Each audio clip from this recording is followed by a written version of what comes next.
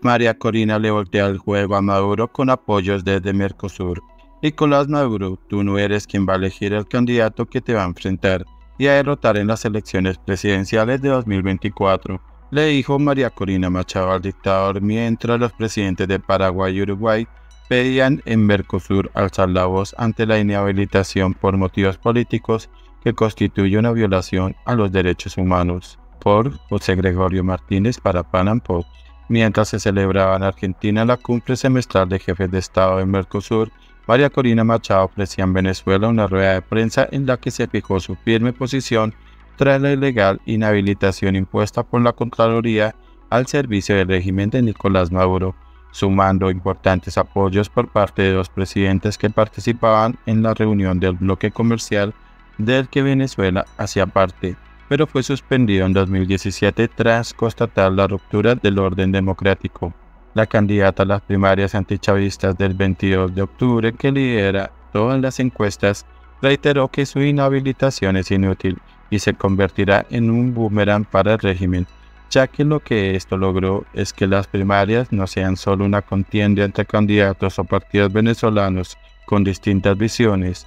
Ellos con esto han logrado que las primarias se conviertan en la primera etapa de la contienda y la derrota de Maduro. En ese sentido aprovechó para enviarle un mensaje al dictador, dejando claro que no será él quien imponga las reglas del juego y escoja a su rival más conveniente, como ha hecho en falsos procesos electorales pasados. Nicolás Maduro, tú no eres quien va a elegir el candidato que te va a enfrentar y a derrotar en las elecciones presidenciales de 2024. Ese candidato lo va a elegir el pueblo de Venezuela el 22 de octubre en las elecciones primarias. La Coordinadora Nacional de 20 Venezuela pidió además a la comunidad internacional prepararse para la derrota de Nicolás Maduro y el inicio de una transición democrática en el país. Y casi en paralelo, María Corina Machado recibió dos importantes apoyos desde Mercosur. Agdo Benítez, hay una violación a los derechos humanos. El primero en levantar la voz desde la ciudad argentina de Puerto Iguazú, donde se celebra la cumbre semestral de jefes de Estado de Mercosur, fue el presidente de Paraguay, Mario Acdo Benítez, quien manifestó frente a sus pares de Uruguay, Brasil, Argentina y Bolivia que sigue con mucha preocupación los eventos de los últimos sucesos en Venezuela, refiriéndose a la inhabilitación impuesta por la dictadura de Maduro a María Corina Machado quien lidera por amplio margen la intención de voto para la consulta interna en la que se escogerá el candidato unitario que enfrentará al régimen en las presidenciales de 2024, cuando asoma un camino de salida, un itinerario de esperanza con la realización de unas elecciones con la oposición, vimos rápidamente apagada esa ilusión con la inhabilitación de María Corina Machado, manifestó Agdo Benítez, quien calificó esa medida como un hecho que choca de frente y escandalosamente con la letra clara de los derechos humanos. El reclamo fue directo. Las restricciones a los derechos políticos por vías administrativas siempre tienen que ser vistas con sospecha y consideradas legalmente inválidas. A esto agregó el mandatario paraguayo que las garantías de los derechos humanos admiten que solo los jueces penales, en el marco de un debido proceso, puedan restringir la participación mediante condenas. Hoy vemos una violación a los derechos del pueblo venezolano de María Corina Machado, que ataca en el nervio la democracia venezolana. A Paraguay no le interesa de qué fuerza política o color son los presidentes de sus socios, siempre y cuando estos hayan sido elegidos por sus ciudadanos. La calle Pou pide alzar la voz. Sus palabras consiguieron eco en su homólogo de Uruguay.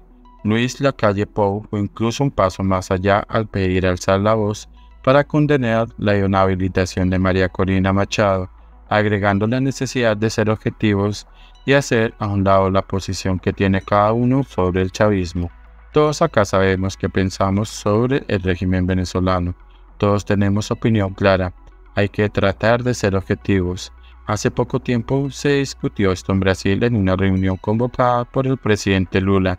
Está claro que Venezuela no va a salir a una democracia sana si cuando hay un viso de posibilidad de una elección, una candidata como es María Corina Machado, que tiene un enorme potencial, se la descalifica por motivos políticos y no jurídicos. El mandatario uruguayo hizo además el siguiente emplazamiento frente a sus pares de Brasil, Argentina y Bolivia. este último miembro asociado en proceso de adhesión, Luis Ignacio Lula da Silva, Alberto Fernández y Luis Arce, todos alineados del chavismo. Flaco favor le haríamos a la democracia venezolana y al pueblo venezolano si no alzamos nuestra voz como hizo el presidente Acto, que suscribo, apoyo y en este tono, como es el de siempre tenemos. Creo que en Mercosur tiene que dar una señal clara para que el pueblo venezolano pueda encaminarse a una democracia plena, que claramente hoy no la tiene. El silencio cómplice de Lula y Fernández, como era de esperarse, los líderes izquierdistas aludidos no se dieron por enterados. Pese al tono institucional de Acto Benítez y la calle Pou, apegado a la defensa de la democracia, tanto Lula como Fernández ignoraron en sus discursos la situación política en Venezuela tras la inhabilitación de María Corina Machado.